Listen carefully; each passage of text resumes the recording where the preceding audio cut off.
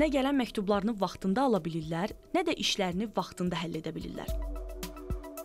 Yevlaxın Hürü uşağı kəndində yaşayan minə yaxın sakin məktub, bağlama göndərmək və kommunal xərcləri ödəmək üçün qonşu kəndlərə və ya Mingəçevir şəhərinə getmək məcburiyyətindədirlər. Çünki 1 ildən artıqdır ki, bu yaşayış məntəqəsində yerləşən poçt şöbəsinin fəaliyyəti dayandırılıb.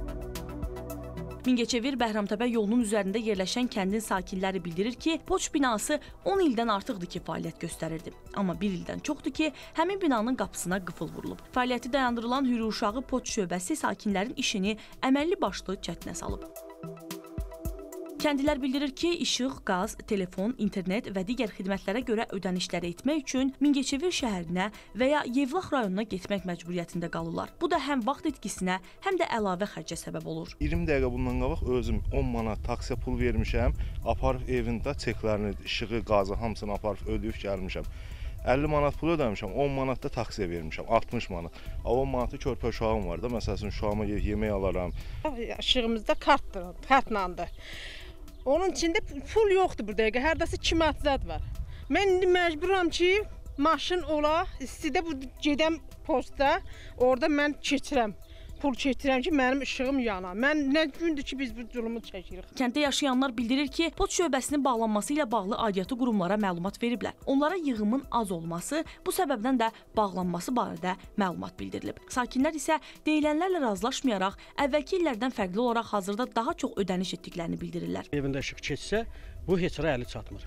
Bu nə qarmalıdır? Ya getməlidir burada qoşu kət var, Salahlıya ora. Buradan ora 3 kilometrdir. Ayağın altından maşını yoxdur, nə də ki, şəxsi bir miniyi də yoxdur özünün. Yaxud da ki, getməlidir Mingəçevirə. 5 manatlıq işına kart vurursa, bu evin içindədir. Həmin o 5 manatlıq kartla heç olmasa bir 10 gün, lap 20 gün girlənəcək.